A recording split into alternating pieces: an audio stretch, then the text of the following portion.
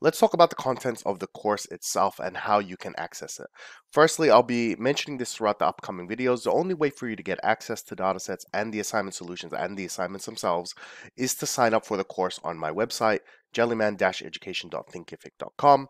It's a free course, so you don't have to pay anything. And because I'll be releasing the upcoming videos on a schedule, it will slowly get released over the course of about six months.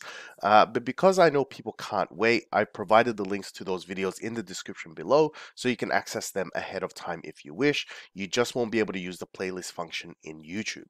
Now, should you have issues accessing it, please feel free to drop me a comment.